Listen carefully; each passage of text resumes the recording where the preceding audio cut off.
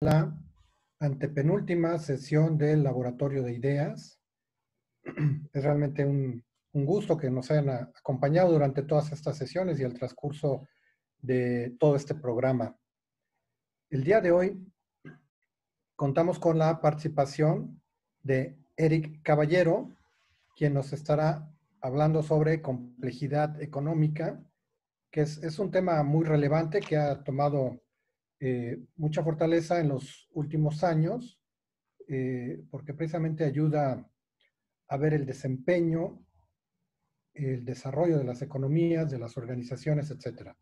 Entonces yo creo que es un tema muy relevante y muy ad hoc para la situación actual que, padece el país.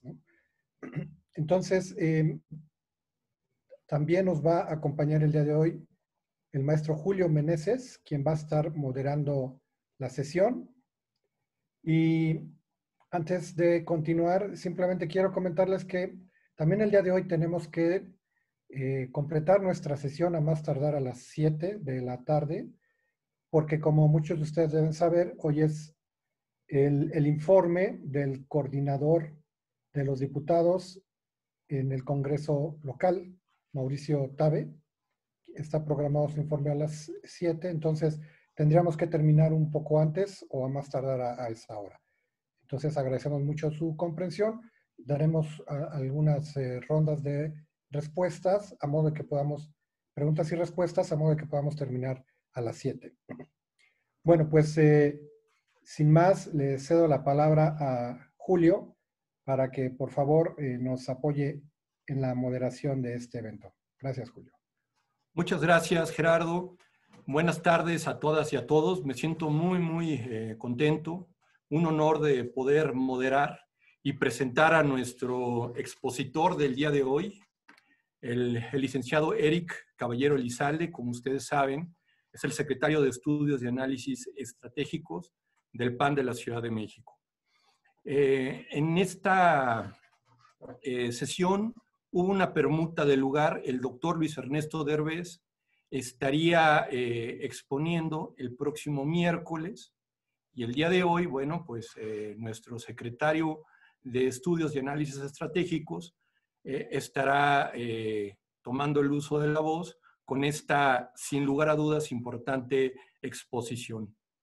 Quisiera leer el currículum de, del secretario de, de Estudios diciendo en principio que es licenciado en Economía y licenciado en Matemáticas por la UNAM. Tiene tres certificaciones que me gustaría hacer énfasis porque fueron hechos en una de las universidades eh, más destacadas eh, de economía a nivel mundial, como es el MIT. Y Eric ha hecho tres eh, cursos. Uno es de evaluación de impacto de programas sociales, otro es de retos globales de la pobreza y el tercero es un tema súper fundamental para cualquier actividad económica, que es el Big Data.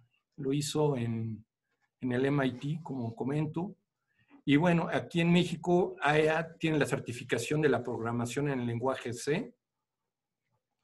Y bueno, eh, Eric eh, ha sido, además de ser secretario de, estudios, ha sido coordinador de análisis y propuesta política, ha sido asesor de economía política, asesor de finanzas públicas en la Asamblea Constituyente de la Ciudad de México, ha sido investigador del Foro Consultivo Científico y Tecnológico en el CONACYT, investigador asistente del coordinador del posgrado de la Economía de la Facultad de Economía.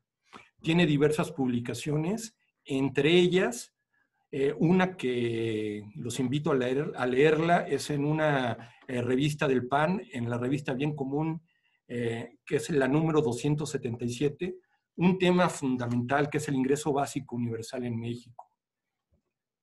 Asimismo, bueno, pues Eric, nuestro secretario de estudios, ha impartido diversas conferencias, entre ellas el coloquio de teoría económica y economía pública, la política fiscal en la Ciudad de México y el décimo coloquio de finanzas aplicadas. Pues sin más, quisiera cederle el uso de la voz a nuestro secretario para que eh, nos exponga esta eh, teoría de la economía de la complejidad, súper, súper eh, vanguardista a nivel economía. Pues muy bien, secretario, muchas gracias.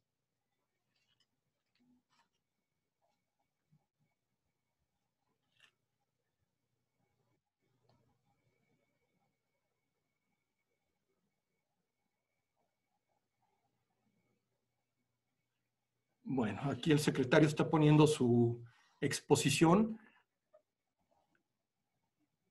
Ya tenemos al, secretario. Bueno. Listo, Julio. Pues estaba yo hablando sin saber que tenía el micrófono apagado. No es posible, pero bueno, eso pasa. Eh, agradecerte por la presentación, mi querido Julio. Muchas gracias a todos y a todos por acompañarnos.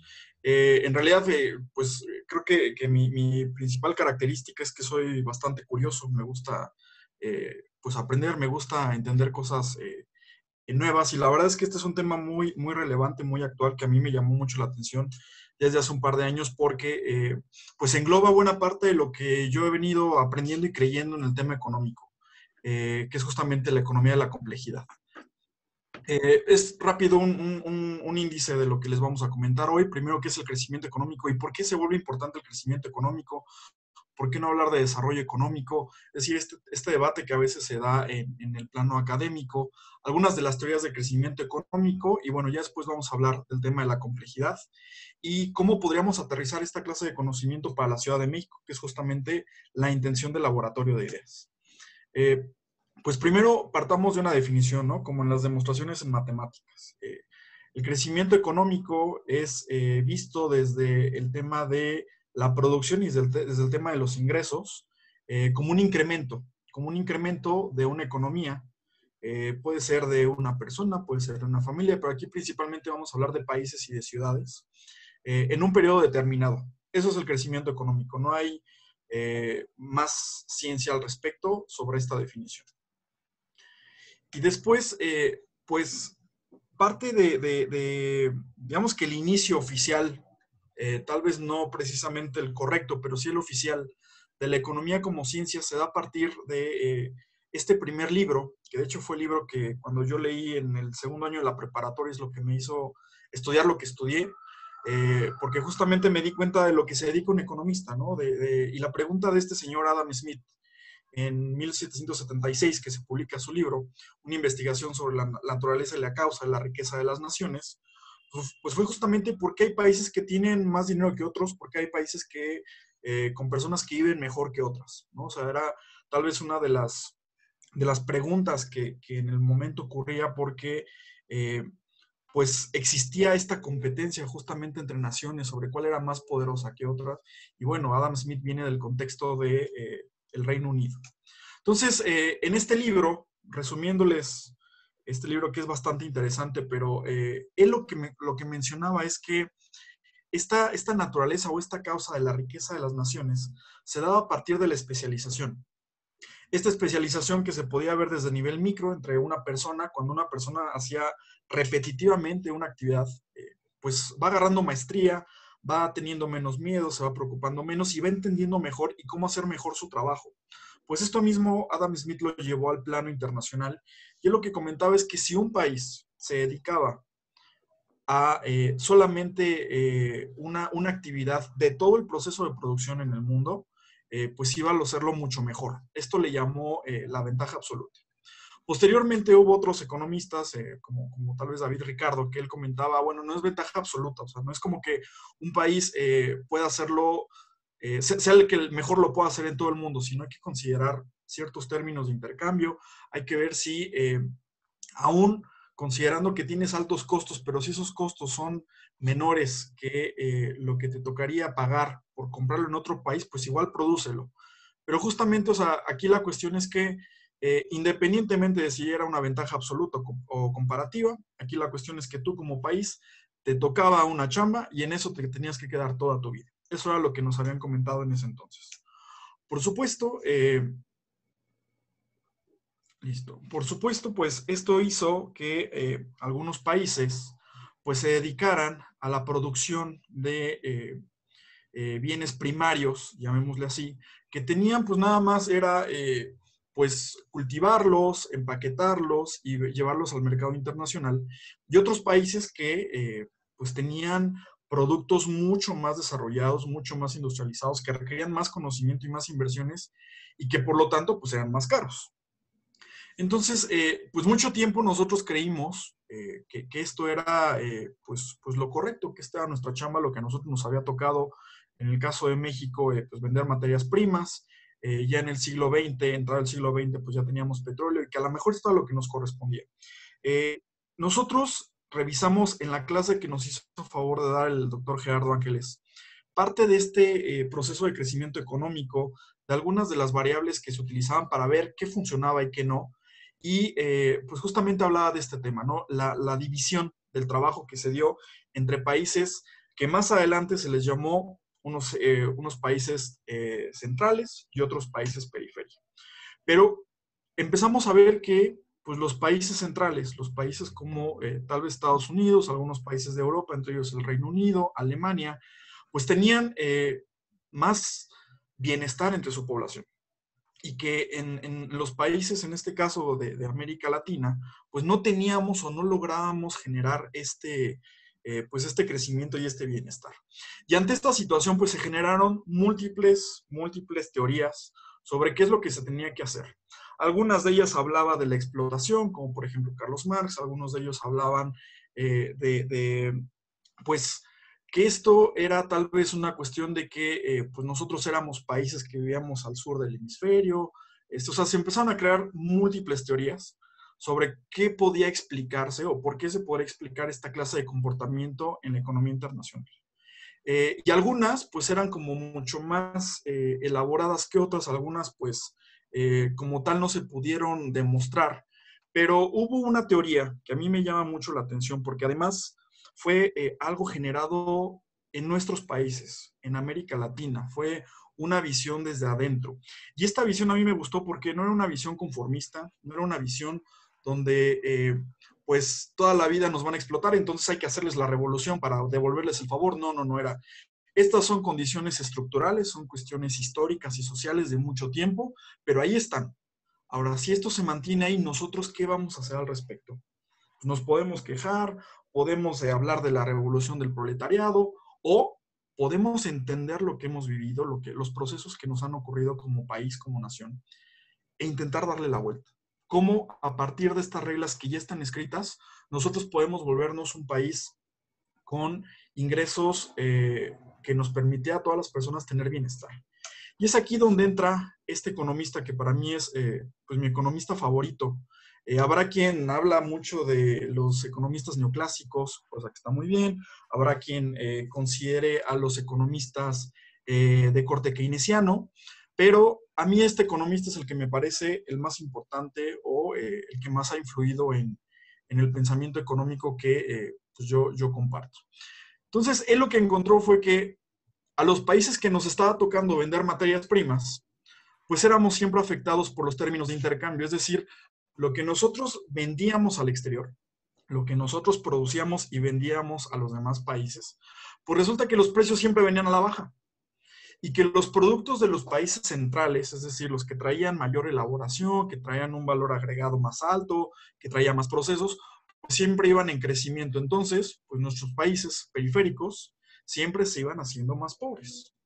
Esa es la explicación que dio eh, Raúl Prebisch, eh, junto con otro economista, Singer, eh, sobre los términos de intercambio. Entonces, a partir de esta visión, se empezaron a crear nuevas, eh, pues nuevas ideas económicas sobre lo que nosotros podríamos hacer como país. Vino entonces, después de Raúl Prebisch, eh, un, un, momento económico que nosotros lo conocimos como el modelo de sustitución de importaciones, donde lo que si nosotros lo que queríamos hacer era industrializar nuestros países, pues entonces vendíamos, eh, tendríamos que producir y vender productos industrializados, industrializar a nuestras naciones. Pero, aquí es donde entra el pero, eh, este proceso que gobiernos del pasado han defendido como el desarrollo estabilizador y como grandes momentos donde gracias a cómo se llevó la economía tuvimos grandes procesos de crecimiento económico, pues es en realidad una, una, una eh, verdad a medias. Lo que ocurrió es que, pues a nivel internacional, hubo una alta demanda de bienes de todo tipo. Entonces, y había pocos productores. Entonces, pues lo comprabas al precio que fuera y eso hizo que tuviéramos un momento de mucho crecimiento económico. Eh, pero entraron los vicios, entraron los problemas que, eh, pues la falta de técnica e inteligencia y los, eh, los incentivos políticos que existían en el momento llevaron a deteriorar la, pues el proceso económico que teníamos en el país porque se producían cosas que nadie compraba, porque se producían a muy mala calidad y obviamente en el exterior pues nadie lo quería comprar. Eh, eso es algo que pasó aquí en México. Teníamos empresas públicas eh, adquiridas por el gobierno, financiadas por el gobierno, que no producían bienes de calidad, que no eran exportables estos bienes y que además teníamos que protegerlos porque si entraba una, empresa del extranjero a competir en nuestro país, pues iba a quebrar con nuestras empresas. Pues eso hizo que tuviéramos una, eh, pues un sector empresarial que no tuvo el incentivo a competir hacia el exterior. Pero ante esta realidad, ante estos eh, ejemplos que ponía Raúl Prevish, a mí me llama mucho la atención y un ejemplo que siempre retomo es el tema de Corea del Sur contra México. Siempre es el ejemplo al que yo, al que yo me, baso. Porque para 1970, como muestra esta gráfica, eh, México tenía un PIB per cápita, es decir, un ingreso por persona, el triple o casi el triple de lo que tenía Corea del Sur. Corea del Sur era una de las naciones más pobres de su momento. Eh, no se había recuperado aún de, los estragos que, llevó la guerra eh, y además la guerra civil que tuvieron, pero a partir de estas ideas que trajo Raúl Prebisch y otros economistas, no solamente Raúl, empezaron a generar una política de industrialización, pero basada en exportaciones. Y esto lo que hace es que si tú vas a competir en el exterior, pues sabes que tienes que hacer un producto de calidad, un producto económico y un producto durable y que se venda, que es algo que no ocurrió justamente en México. Entonces podemos ver México fue mucho más rico de lo que es Corea del Sur hasta el año de 1987, que es donde ocurrió este cruce. Y ahora, como vemos, eh, pues el Producto Interno Bruto de Corea es eh, más del doble de lo que tenemos acá en México. Con todos los beneficios que esto trae, con eh, los aumentos en esperanza de vida, en servicios, en servicios educativos, es decir, el, crecimiento económico medido como el PIB, sí, a lo mejor es una medida incompleta, pero hasta el momento es una de las mejores mediciones que hemos tenido. Se están desarrollando más, pero esto nos da una lección de algo que eh, a partir del mismo punto y el mismo entendimiento se generaron propuestas diferentes y llevaron a momentos diferentes. Y esto es el resultado que tenemos. Eh, entre 1960 y 2018, México como país crecimos 1.79% promedio.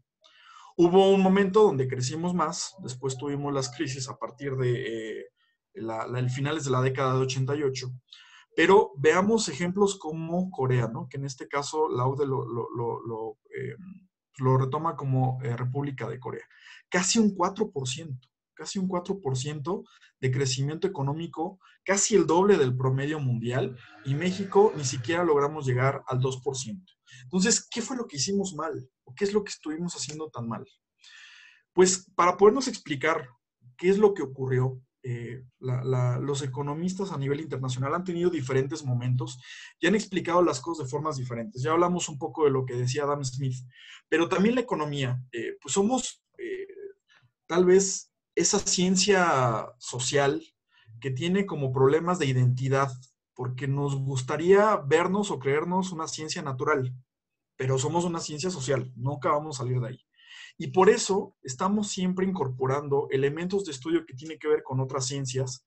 En su momento fue la física, ahora estamos metiendo también ya cuestiones biológicas, eh, cuestiones neuronales, cuestiones psicológicas, pero grandes rasgos, podría yo decir que estos fueron los tres eh, momentos de cómo la economía o cómo los economistas explicaban las diferencias del producto en los diferentes países.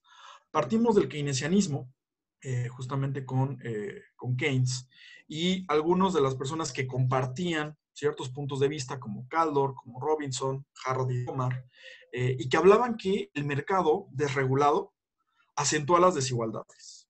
Y que para esto eh, lo que uno tenía que hacer era regular de forma activa eh, a partir del Estado y empezar a poner barreras y incentivar el consumo desde el Estado. ¿Cómo? Pues comprando y generando empresas públicas, eh, protegiendo a las empresas nacionales con aranceles y eh, esto es lo que iba a ayudar a que creciera la economía. Y en su momento funcionó justamente porque fue en el periodo donde entramos a la Segunda Guerra Mundial. Entonces, había una necesidad de aumentar la producción a nivel mundial y pues esto en su momento funcionó. Pero llegó el momento donde se desgastó este modelo y empezaban a generarse otros modelos de crecimiento económico, los llamados neoclásicos economistas como Solo, como Swan, como Mead, eh, que hablaban de que el mercado libre, es decir, un mercado sin ataduras, sin restricciones, pues propicia la convergencia. Y la convergencia es cuando los países, las personas, llega un momento donde todos acaban siendo eh, o tienen la misma, la misma riqueza. Eh, y lo que ellos decían es, dejen el libre mercado, déjenlo libre, porque como hay rendimientos decrecientes, es decir, eh, por cada vez, digamos, que le echas más ganas, pero no te genera el mismo producto o el mismo resultado al final, pues en algún momento eh, las inversiones en Estados Unidos iban a ser ya tan grandes y tan caras y tan poco eh, redituables que se iban a venir a México. Y cuando eso pasara, pues iban a pasar a Guatemala y así no la íbamos a llevar hasta que todo el mundo fuera perfecto. Sin embargo, bueno, ellos lo que consideraron es que el, el, crecimiento económico iba a estar basado en la interacción de factores como el trabajo y el capital, es decir, la lana, las inversiones, y hablaban, sobre todo al final de este, de este periodo, sobre una variable que era el cambio tecnológico, pero que todavía no lo podían explicar. Es decir, que este cambio tecnológico ocurría, eh, pero eso no lo generaba eh, eh, la, la, economía en cuestión, es decir, estaba ya dado. Para esto, el Estado tenía que ser un Estado pasivo, tenía que ser neutral y solidario, eh, que velara justamente por el, libre juego, las libres fuerzas del mercado, y que asegurara, eso sí, un orden monetario. Es decir, que no hubiese más dinero del que el sistema podía aguantar porque eso generaba inflación. ¿Cómo se iba a hacer esta clase de, modelos aplicados a la realidad? Pues liberalizando, eh, empezando a privatizar empresas eh, y que el gobierno fuese lo más chico posible, pero tampoco inexistente. Pero sobre todo aquí lo, verdaderamente importante es el tema del cambio tecnológico. Esa fue la gran evolución de los modelos de crecimiento económico a partir de 1990 y hasta el presente, que también ya lo comentaba el doctor Gerardo, ya son los modelos de crecimiento endógeno. Endógeno es decir, es algo interno, que nosotros en nuestro modelo sí podemos explicar cómo ocurre este cambio tecnológico. Economistas como Romer, como Lucas, Barro y Ayón eh, algunos de ellos eh, de, la Universidad de Chicago y Ion, de, que ahorita es profesor en, Harvard, eh, hablaban que el libre mercado como tal, hablan de que el libre mercado como tal no asegura la convergencia, es decir, va a haber desigualdades si dejamos al libre mercado, pero tiene, tiene un perfil mucho más acotado que lo que hablaba del keynesianismo. Y otra vez, eh, eh, en estos modelos, en las funciones de crecimiento, pues igual era la interacción entre el capital y el trabajo, y el trabajo, a su vez, multiplicado por eh, el factor de, de, crecimiento, de, cambio tecnológico, pero este sí se podía explicar a partir de la calidad de las personas que se encontraban en ese país. Es decir, a mayor capital humano, que es la diferencia entre el trabajo, el capital humano es aquel que estudió, que innova, que tiene conocimientos superiores al promedio, a mayor acumulación de conocimiento, iba a haber un mayor crecimiento económico porque esta variable multiplicaba al trabajo y multiplicaba al capital. La forma en la que ellos veían la regulación era eh, pues una, una concepción intermedia entre lo que decían los keynesianos y los neoclásicos, que se tenía que favorecer a un eh, ecosistema de inversiones, de innovación y de capital humano, y las políticas públicas, es decir, el Estado tenía que observar únicamente la gestión de externalidades, garantizar los derechos de autor cuando una persona inventaba algo y eh, la generación de capital humano. Es decir, cómo a partir de los sistemas educativos públicos y eh, que, permitieras que los sistemas privados pues llegaran justamente a la creación de conocimiento que pudiese colocarse en el mercado. Entonces, estos son algunos de los modelos eh, de crecimiento económico que explicaban la realidad. Entonces, ahorita nos encontramos justamente en, este, eh, en esta explicación de los procesos endógenos, es decir, los últimos de la tabla. Y ante esta situación, ya entrando en materia, eh, pues veíamos que faltaba aún un poquito más como para poder entender. La economía evoluciona muy rápido, evoluciona con los conocimientos incluso de otras ciencias. Y eh, economistas de la Universidad de Harvard y de MIT, en este caso César Hidalgo de MIT y Ricardo Hausman, pues se pusieron a estudiar con todas las bases de datos que podían existir, sobre todo de la ONU, de comercio, eh, los procesos de crecimiento económico, cómo podríamos explicar las variables que más importan para la economía mundial, que es el crecimiento económico, la reducción de las desigualdades e incluso la emisión de gases de efecto invernadero. Y ellos lo que querían era entender o generar una variable que les permitiera predecir los procesos de crecimiento económico que iban a hacer en el futuro. Vale la pena mencionar que estos dos, eh, eh, pues uno es economista, Ricardo Hausmann, y el otro es analista de datos. Eh, pues este César Hidalgo es chileno y Ricardo Hausmann es venezolano. Entonces tienen esta concepción de las cosas que se, que se estaban estudiando, que se venían ya trabajando en la Escuela Latinoamericana del Pensamiento Económico y que se empezó a desarrollar la CEPAL. Y esto fue lo que permitió aterrizar en los conocimientos que se traían de entonces a una teoría que tuviese que ver con, eh, una teoría que, entendiera los procesos de crecimiento endógeno y que permitieran explicar cómo podíamos mejorar nuestras economías, pero eh, ya dando un siguiente vuelco. Lo que se está intentando en la economía es que cada vez menos las ideologías sean las que apuntan a lo que se debe de hacer y sea más la técnica, sea más el análisis de datos lo que nos indique qué hacer. Y justo lo que hicieron estos dos economistas en este libro, que ustedes lo pueden descargar, lo googlean y viene el libro descargable de forma gratuita, el Atlas de la Complejidad Económica.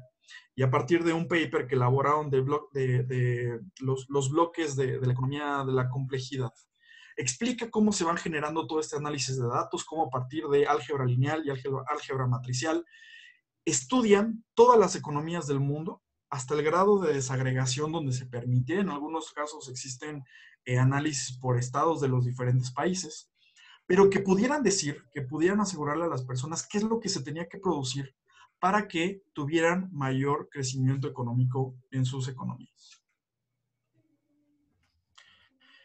Otra vez hablando de las definiciones, eh, eh, como les comentaba ya entrando en materia, la complejidad económica, ¿qué es?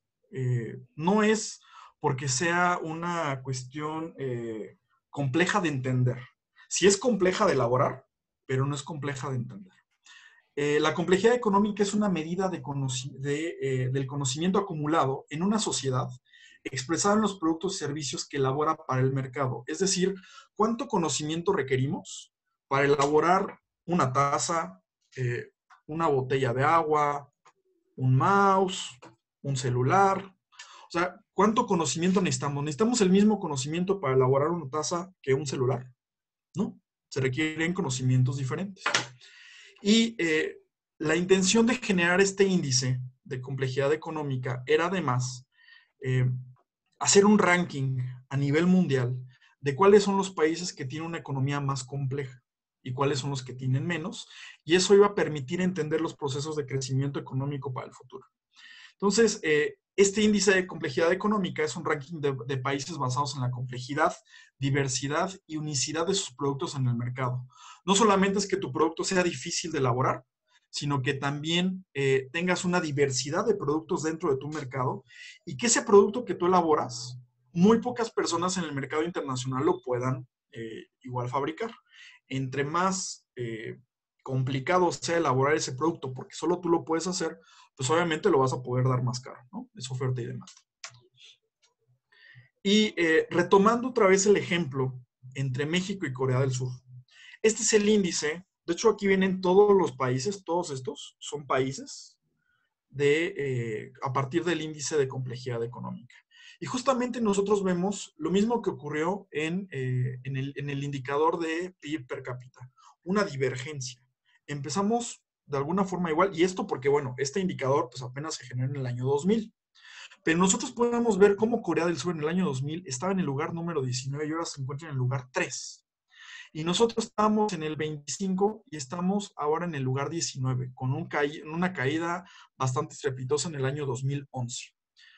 Pero nosotros no hemos tenido mejoras significativas en nuestra complejidad económica, es decir, no estamos teniendo grandes eh, inversiones en capital humano para, y además capital humano de, calidad, para poder elaborar productos más complejos. Eso es lo que nos está llevando a un proceso de crecimiento económico, pues bastante mediocre en México y lo que vemos como diferente en Corea del Sur. Y ante esta situación, estos son los mapas eh, a partir de las herramientas visuales que genera la, eh, la, economía de la complejidad. De forma intuitiva, entre más, eh, llamémosle color turquesa, sea un mapa de estos, significa que la economía es más compleja y entre más naranja tenga, es menos compleja. Estos productos complejos, eh, pues puede ser como los automóviles, como las computadoras, eh, circuitos electrónicos, esos son los productos complejos. Y los menos complejos, como podemos ver en el caso de México, pues es el petróleo. Entonces, lo que nosotros necesitamos como país es encontrar qué productos tenemos el know-how, es decir, la experiencia para poder producirlos, que el mercado internacional los necesite, porque también, pues si producimos algo que el mercado no necesita, pues no nos sirve. Entonces, este es un ejemplo comparativo entre lo que tenemos en México y lo que, lo que tienen en Corea del Sur. Casi todo el mapa de Corea del Sur es color turquesa. Tienen muy pocos elementos de eh, productos de baja complejidad. Y es algo que nosotros necesitamos entender porque le podemos dar zoom a cada una de las actividades eh, económicas y de las industrias que tenemos tanto en México como Corea del Sur.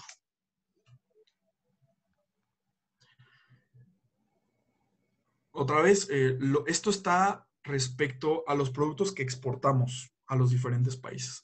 ¿Qué es lo que más exportamos en México? Pues automóviles, ¿no? Ese es el motor de crecimiento económico de México. Y el segundo en tamaño es eh, pues el petróleo. El petróleo es lo que más estamos exportando. Entonces, eh, en esta franjita que viene al lado de, coches, bueno, de, coches y de eh, vehículos automotores que transportan bienes, esta franjita es de turismo. Entonces, nosotros no estamos generando productos o servicios que sean complejos. Y con complejo me refiero a que generen altos salarios, que sea más complicado que otros países en el mundo lo puedan replicar. Y eso es lo que nos está generando procesos de crecimiento económico otra vez muy bajos. Esta es la matriz de producción de, México, es decir, lo que producimos independientemente de si lo exportamos o no.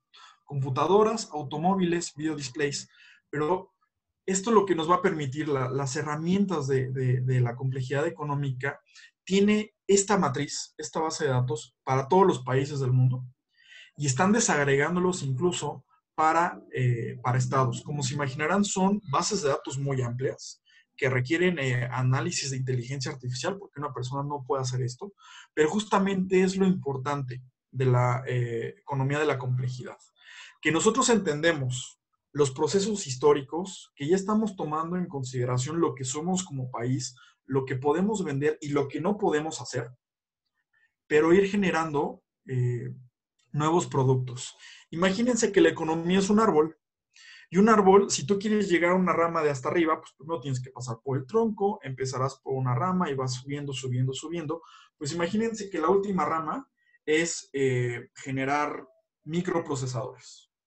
Pues para generar microprocesadores necesitas toda una serie de industrias tanto para tener materias primas o importarlas, como para saber trabajarlas y poder llegar a esa clase de eh, industrias. Entonces, si nosotros no tenemos o no vamos creciendo en estas industrias para llegar a industrias más complejas, pues nuestro crecimiento económico va a seguir siendo bajo, que es algo que sí entendió Corea del Sur y que justo al darse cuenta que su producción no era diversa, no era compleja, empezaron a elaborar productos cada vez más complejos, un poquito más complejos, un poquito más complejos, hasta que vemos la economía que tiene el día de hoy. Supongamos que hay un país en el mundo que produce absolutamente todos los bienes, todos los que pueden existir. Pues su mapa de, de producción sería algo como esto. Por colores, podemos ver que se refiere a diferentes industrias. Minerales son de color azul, maquinaria es de color azul, este, no, eh, minerales es de color café, maquinaria es de color azul, electrónico es eh, como de un azul claro, vehículos es morado, pero supongamos que hay un país que puede producir todo, así se vería un mapa eh, de, lo que se puede producir.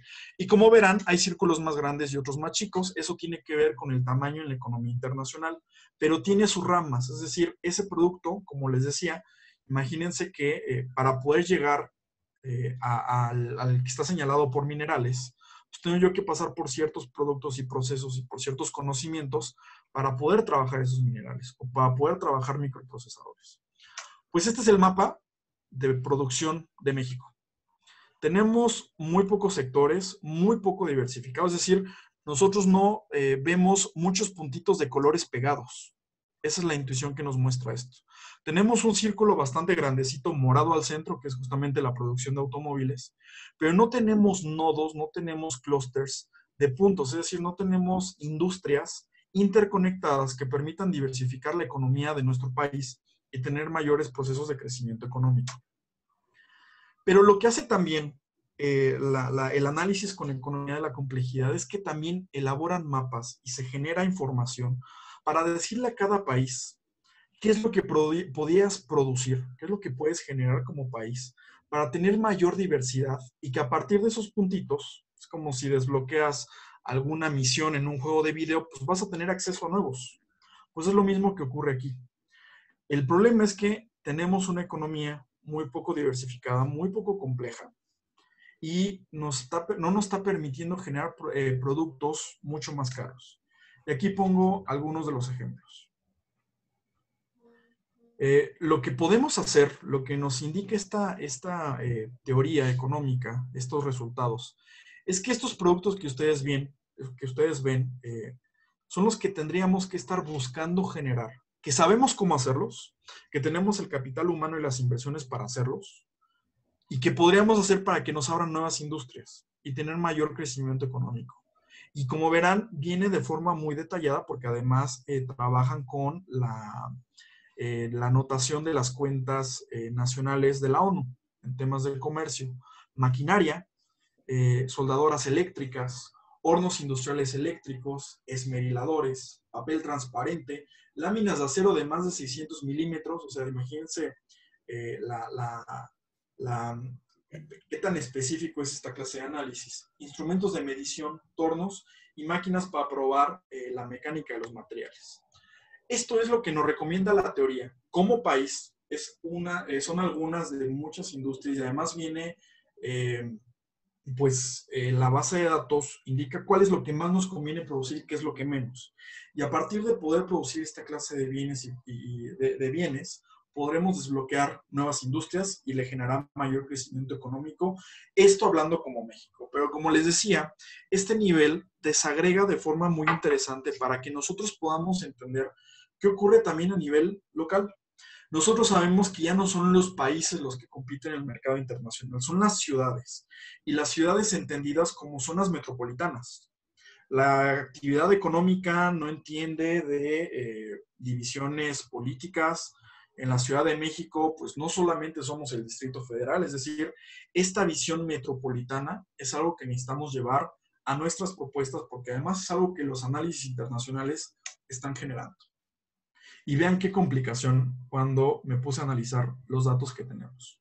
Pues vieron la matriz, bueno, el, mapa de producción de México. Pues en la Ciudad de México estamos un tanto peor por ciertas cuestiones explicables. La Ciudad de México, eh, sobre todo el nodo central que es el distrito, bueno, la, Ciudad de México como entidad, pues estamos eh, dirigidos a una, eh, pues, una economía de servicios no producimos para exportar bienes. Eso ocurre más bien en la periferia, eh, en, la zona metropolitana, en los municipios del Estado de México. Pero esto es lo que nos propone, esto es la, clase de producción que nos, que nos propone. Porque además cuando vemos por entidades, algo que a mí me llamó muchísimo la atención es que el, eh, pues la demarcación territorial que genera la mayor cantidad de exportación, es decir, quien más exporta en la Ciudad de México, pues la verdad a mí me pareció este, muy, muy interesante, pues no es alguna de esas demarcaciones que nuestra intuición podría decirlo, es Milpa Alta. Milpa Alta es la demarcación territorial que más exporta en eh, la Ciudad de México vista como entidad. Pero, otra vez, para diversificar nuestra producción, visto como zona metropolitana, lo que nos recomienda la economía de la complejidad es incentivar esta clase de industrias. Aparatos eléctricos de encendido, minerales de los metales preciosos, aparatos de radar, productos de panadería. Como verán, hay algunos productos que son mucho más complejos que otros. Aquí esto está ordenado para ver cuáles tienen un mercado más grande. Eh, cuadros para control o distribución, asientos eh, de, automóviles y desperdicios y desechos de cobre. Ustedes dirán, oye, pero pues con esto ya vamos a competir con Silicon Valley, con Tel Aviv. Este, no, no, no, para nada. Pero esto lo que nos va a permitir es desbloquear nuevas industrias económicas y que más personas tengan acceso a mejores salarios en sus trabajos. Entonces, eh, a manera de conclusión, lo que necesitamos en la Ciudad de México es dejar de pensar en ideologías y empezar a buscar dentro de la teoría, dentro de los, de los expertos, de los académicos, qué es lo que nos están comentando y qué es lo que nos están recomendando generar. Viene una evolución eh, en, México sobre, bueno, en, la teoría económica, sobre eh, dejar de ocupar interpretaciones y testearlas, probarlas con método científico para ver qué es lo que podríamos hacer. Pues como conclusiones, eh, porque la intención justamente de nuestro laboratorio es qué podríamos hacer, qué podríamos hacer para que nuestra ciudad le vaya mejor en cuestiones económicas. Por supuesto, como eh, siempre vamos a estar expuestos a los ciclos económicos y a las externalidades eh, que incluso vienen de, otros países. Pero, ¿qué es lo que podríamos hacer para que funcione mejor? Porque al final, la Ciudad de México sigue siendo el motor de crecimiento del país. Sigue siendo eh, una de las entidades más grandes en cuestiones nominales, en cuestión de producto, pero también es una de las entidades donde tiene una mayor acumulación de capital humano, una mayor acumulación de conocimiento. Es la principal. Tenemos las universidades públicas más grandes en nuestra ciudad, tenemos los, centros de investigación más grandes, tenemos muchas empresas y muchísimas universidades privadas que están haciendo una gran lucha para eh, generar un mayor, un mejor capital humano. Entonces, ¿qué es lo que nosotros recomendamos a partir de eh, el, estudio de, de, la economía y la complejidad? Primero, incentivar industrias con el mayor índice de complejidad para México y para la Ciudad de México. Pues no vivimos aislados en la Ciudad de México, no somos un país, somos una entidad. Entonces hay que ver cómo nos podemos coordinar con lo que se requiere de México para que la Ciudad de México, como zona metropolitana, lo produzca y lo exporte. Necesitamos vincular a los universitarios graduados y al gobierno, porque cuando una, eh, un joven talentosísimo, tal vez eh, egresado del Politécnico, de la UNAM, quiere abrir una empresa, pues lo que normalmente hace es, eh, pues, producir lo, que, lo primero que se les ocurrió, lo que eh, su familia hace hace mucho tiempo, cuando lo que necesitamos ya es cierta producción de ciertas industrias y algo muy específico. Entonces, estos jóvenes tienen que estar incentivados a que produzcan en estas industrias. Desde la Constitución viene eh, planteado el Instituto de Emprendimiento de la Ciudad de México y ahora que el gobierno federal quitó todo el apoyo a los emprendedores nivel federal, es el momento para que la Ciudad de México retome esta propuesta que viene en la Constitución y que aún no se ha eh, materializado. Que generemos eh, como país, como, como, como entidad, créditos en industrias estratégicas para la Ciudad de México, que haya una visión metropolitana. Porque obviamente en la Ciudad de México pues ya no tenemos espacio para naves industriales mm, eh, en la entidad Ciudad de México, pero hay espacio en la zona metropolitana y que podríamos ocuparlo para generar un motor de crecimiento económico que le sirva a nuestro país. Y eso por un lado, porque eh, hay otras estrategias un poco más directas sobre el cómo poder producir eh, bienes más complejos. Y esto yo lo titulo, o sea, las investigaciones que yo realicé justamente antes de, cuando, cuando trabajaba yo en la UNAM, era sobre políticas de atracción, retención y generación de capital humano en la Ciudad de México. Desgraciadamente estamos viviendo un momento donde, eh, pues en la, Ciudad de en la Ciudad de México y en México en general, pues está prestando a, eh, pues dar eh, ya títulos universitarios casi casi aunque tenga muy poca calidad los estudios. Entonces, todos los modelos de crecimiento económico pues, están tronando porque dicen, oye, pero tenemos más licenciados y más ingenieros. Pues sí, pero no con la misma calidad. No con la misma calidad de otros países. Entonces, lo que necesitamos es asegurar eh, la, calidad del capital humano. No nada más darles un título de licenciado o de ingeniero o de doctor o de maestro, sino que valga la pena los estudios, que tenga rigor técnico y académico los planes de estudios. Para esto lo que, lo que, lo que proponíamos en, en las investigaciones realizadas era el papel relevante de los parques científicos, es decir, estos parques industriales, pero enfocados en empresas de alta tecnología, justo como ocurrió en Silicon Valley. En Silicon Valley, eh, pues el origen fue un eh, espacio de terreno muy pequeño dentro del campus de la Universidad de Stanford, que se lo prestaron a investigadores, a jóvenes que todavía ni se graduaban, pero para generar computadoras. Necesitamos retomar ese modelo. Centros de investigación triple hélice, es decir, eh, generalmente hacemos que cada sector trabaje de forma independiente, el gobierno, el sector privado y las universidades, necesitamos que se junten, que se junten estos tres sectores y que no, eh, pues sea tú pones la lana y yo pongo a la gente yo pongo el terreno, no, no, no, o sea, que interactúen de forma activa estos dos sectores. Uno de los ejemplos fue el, el Radar Lab de, de MIT, que justamente generó una buena cantidad de innovaciones para, eh, para el gobierno de Estados Unidos. Pero estos productos después se volvieron asequibles a la población en general. Aumentar la vinculación con universidades extranjeras. Eh, necesitamos mandar a nuestros jóvenes a las universidades del extranjero, que aprendan, que vean los conocimientos, que, que, vean lo que está ocurriendo. Y no estoy pensando solamente en Harvard o MIT, estoy pensando en eh, algunas de las mejores universidades del mundo, como el Instituto Weizmann en, eh, en Israel, es decir, universidades que eh, tienen una calidad muy alta, con muchos ganadores de premios Nobel dando clases, pero que no precisamente tiene que ser Harvard o MIT. Por supuesto, si los mandamos allá, maravilloso, pero hay que diversificar el conocimiento y que estos jóvenes puedan regresar a la Ciudad de México para generar una innovación a partir de estas eh, invenciones. Aumentar el gasto en investigación, desarrollo e innovación, tanto público como privado, que es una cuestión que se viene trabajando desde mucho tiempo, pero que no lo hacemos. Hoy estamos en el 1.2% del PIB, cuando países, por ejemplo, como Israel, tienen el 4%. Eh, corporaciones de inversiones, es decir, empresas público-privadas que vayan al extranjero, que hablen con Intel, que hablen con Google, que hablen con eh, empresas Lockheed Martin y que traigan a investigadores, eh, capitales e inversiones a la Ciudad de México, a la zona metropolitana.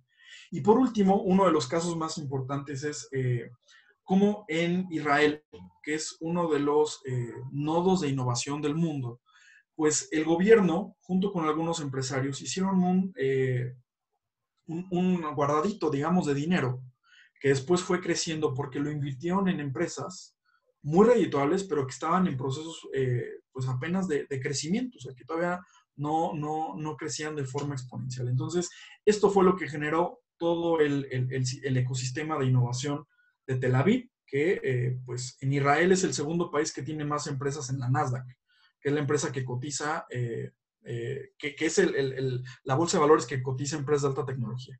Entonces, no es Alemania, no es China, es Israel quien tiene más empresas. Y hay que ver estos ejemplos internacionales para retomarlos en la Ciudad de México y hacer pues un proceso de crecimiento económico que nos permita dar más, que nos permita dar bienestar a nuestra sociedad. Porque además lo que podemos generar con esta clase de procesos económicos es generar más ingresos, tanto públicos como privados, para dar mejores servicios. Y pues de mi parte sería todo. Eh, muchísimas gracias, Julio. Muchísimas gracias, Gerardo. Y quedo a sus órdenes. Muchas gracias, Eric. Muy interesante. Y pues como siempre, eh, preguntar si tienen eh, alguna pregunta para nuestro expositor. Aquí ya estoy viendo, ya ya tenemos algunas.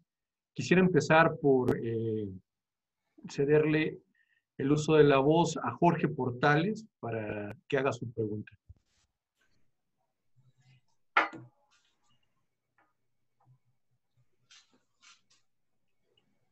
Adelante, a ver si pueden abrir el micrófono de Jorge Portales.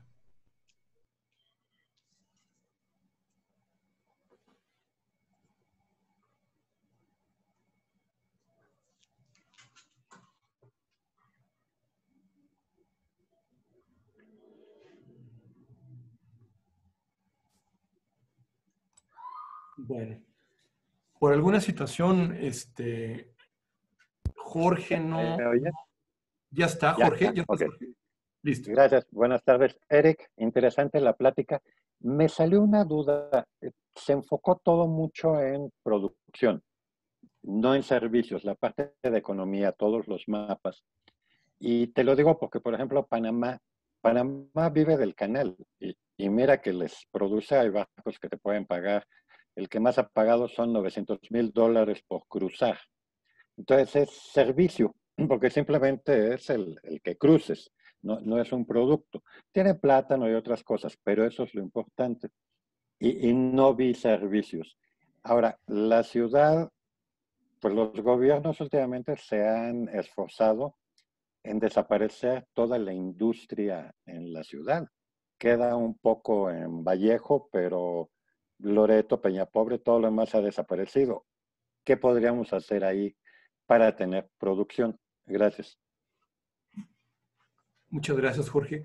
Ahora, eh, Rafael Camacho, si le abren su, su micrófono, por favor.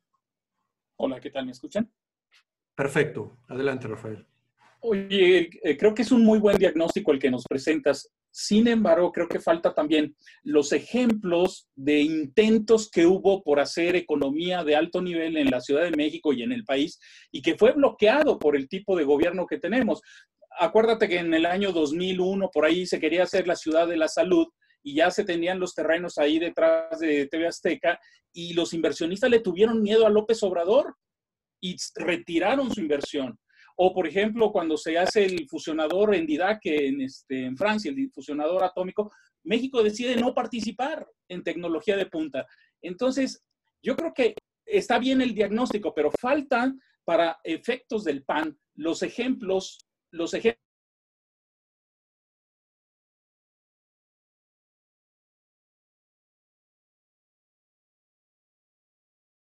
Gracias, Erika. Gracias. Ahora, eh, si le pueden abrir el micrófono, por favor, a César Alberto Liera.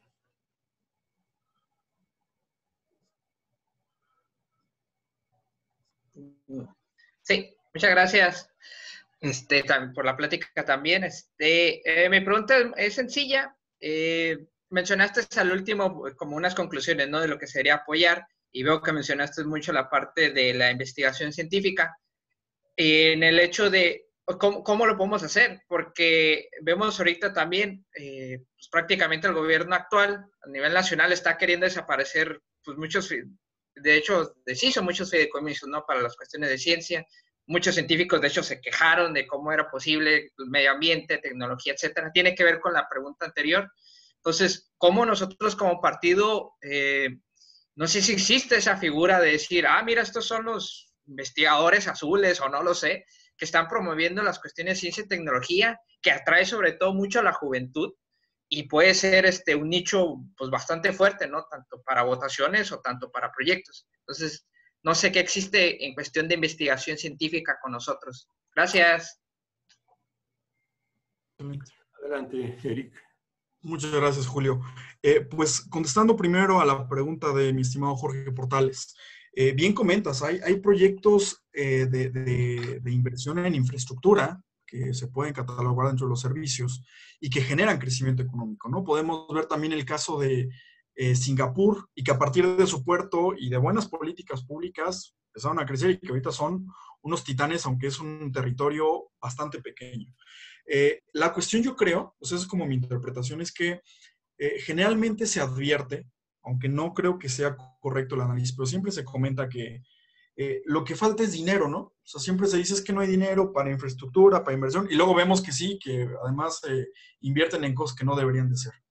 Pero aquí lo que yo eh, intento encontrar con este análisis es que deberíamos de ver, deberíamos de encontrar un, un punto que nos permita destrabar todo lo demás. O sea, ¿qué podríamos hacer a partir de políticas públicas que incentiven el crecimiento económico, que ayude a múltiples cosas, que ayude a eh, disminuir la delincuencia, que dé mayores ingresos a la población, que reduzcas desigualdades, pero con incentivos de mercado, que generes más proyectos de inversión.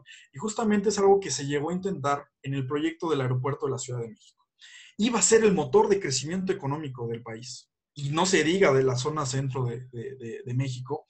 Eh, e incluso eh, dentro del PAN, en las propuestas eh, anteriores, nosotros veíamos que el terreno del antiguo aeropuerto podía funcionar justamente como un parque científico, ¿no? Porque tenías acceso a pues, el sur, el norte, con las universidades como Politécnico al norte, la UNAM al sur, pero que ahí era un punto donde se podía concentrar justamente toda esta interacción y que si se le invertía podía funcionar. Creo que tiene que ver eh, mi siguiente comentario con las tres posturas que me hace favor de hacer don Jorge, Rafa y César. Pareciera que hace falta no solamente voluntad política, porque la voluntad política ya sabemos que eh, pues los gobiernos que hemos tenido dentro de la ciudad no la tienen. O sea, ellos tienen el incentivo a generar los recursos públicos para mantener a sus estructuras clientelares, no para hacer infraestructura, no para eh, ser subsidiarios, sino para seguirlos manteniendo en esa situación y que más voten por ellos.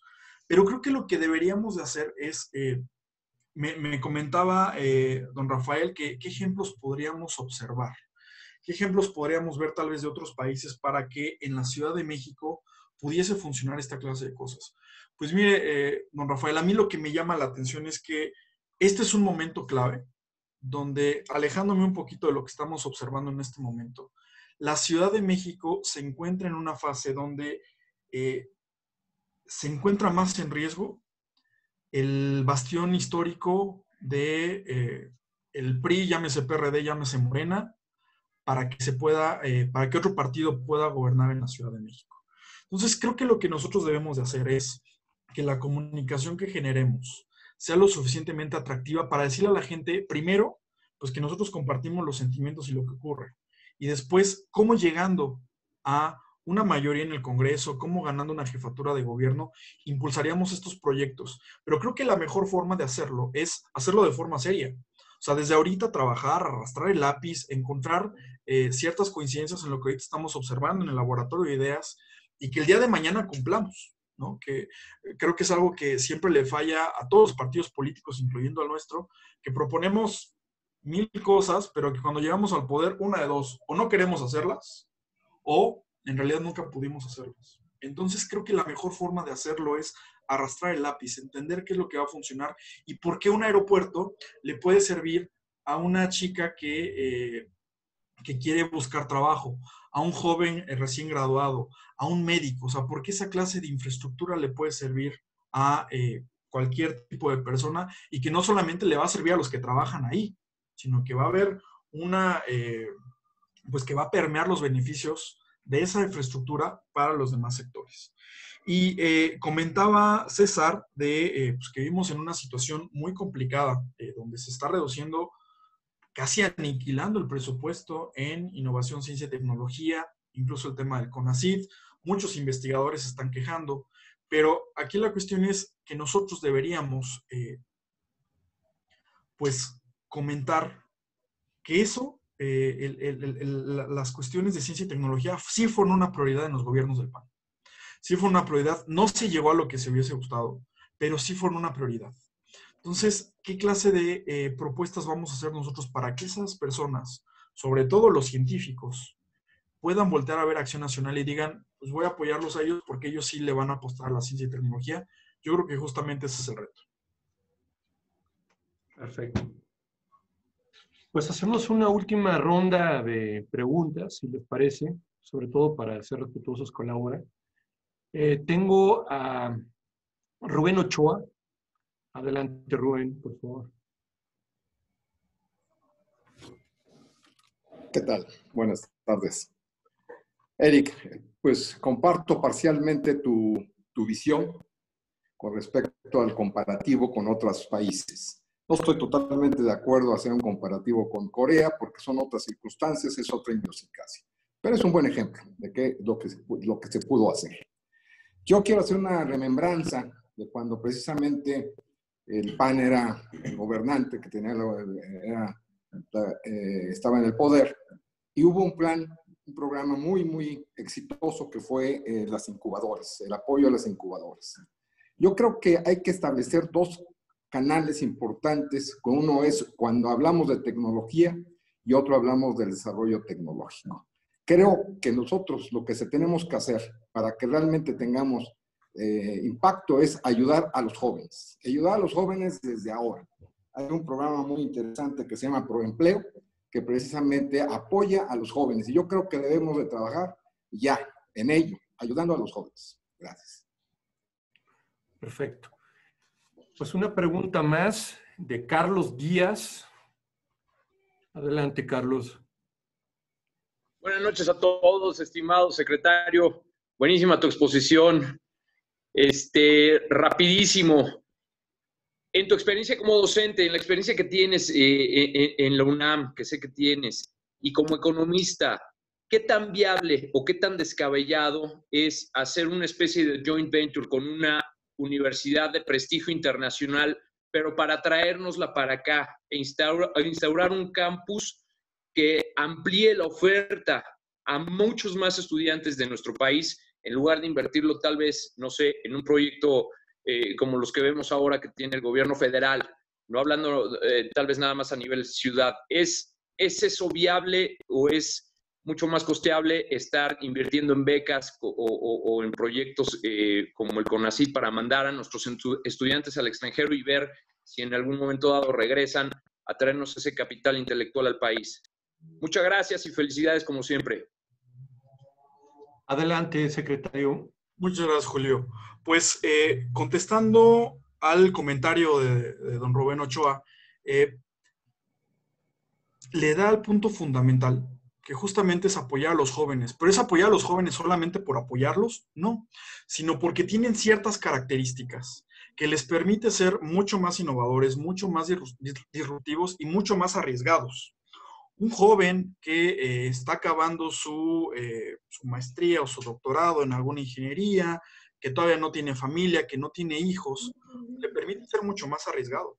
Entonces, uno de los patrones que nosotros observamos en las investigaciones que realizábamos antes era que, eh, pues, ciudades como Silicon, bueno, regiones como Silicon Valley, como Boston y como Nueva York, que eran las zonas metropolitanas más innovadoras del mundo, a partir de una variable que nosotros ocupamos, pues lo que tenían de común denominador era justo que apoyaban a los jóvenes, pero a partir de eh, también comentar que los productos que tenían que generar estos jóvenes fueran importantes para el mercado.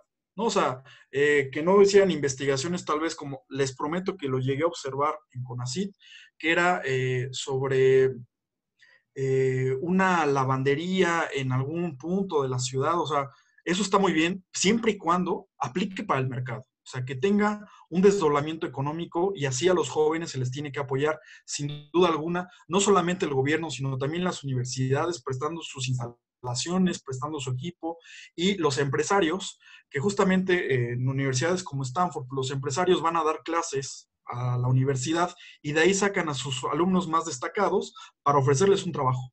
Ese es como el círculo que se va generando. Creo que aquí el tema es cómo vamos a generar este círculo, porque ya lo podemos observar de otros países, pero tal vez es lo que falta aquí.